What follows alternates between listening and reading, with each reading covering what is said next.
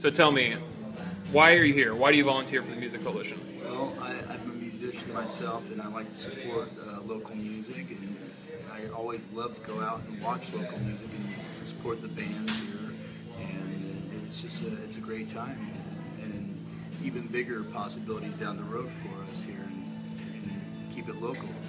It's the primary reason why I'm here, and, and to lend a hand for these projects here, so we can keep it going.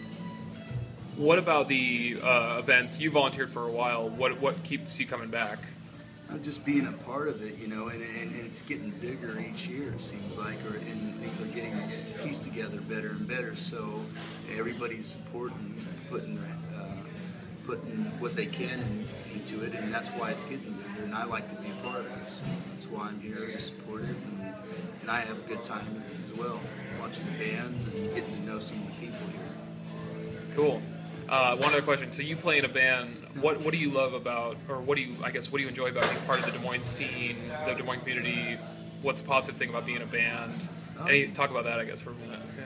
I guess uh, just bringing your own uh, piece of the, the, excitement to everyone else. I mean, everybody has a wide range of different musical taste, and especially that's the big thing about 80/35 and all these other events that the Des Moines Music Coalition brings to the community. A wide variety of different music, and, and that's just another thing that I have to put my own taste in here as well. So it's, it's, it's a good thing, good mixture of different types of music.